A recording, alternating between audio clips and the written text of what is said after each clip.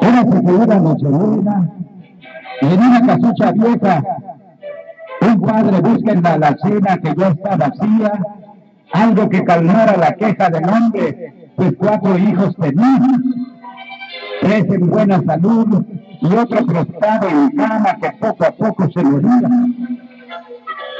En la alacena no encontró más que dos tortillas piezas, así que afanoso buscó por sus últimas monedas y vio que para agregar más sus quejas y sus paternos afados, el dinero que encontró solo cubría, si acaso, para comprar cuatro panes y un poco de chocolate.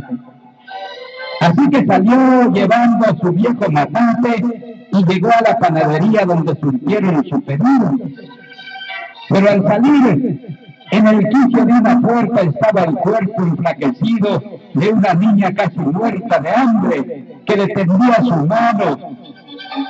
Y dentro en su mente pensó, cuatro hijos tengo yo, pero uno que no está sano. Lo más seguro es que no puede botarlo esta noche. Y a la niña le alargó el pan que la criatura vio como la gloria del cielo.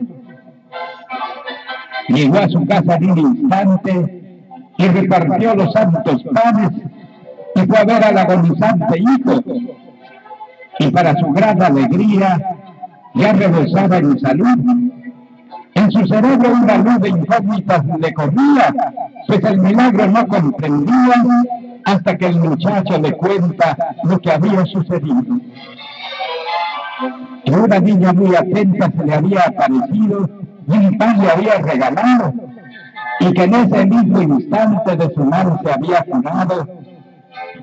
Con un gran presentimiento el padre sale corriendo para la panadería y encuentra la pobrecía sobre una helada camilla. El corazón se le estanca al mirar a la chiquilla bajo una sábana blanca, rodeada de criaturas aladas.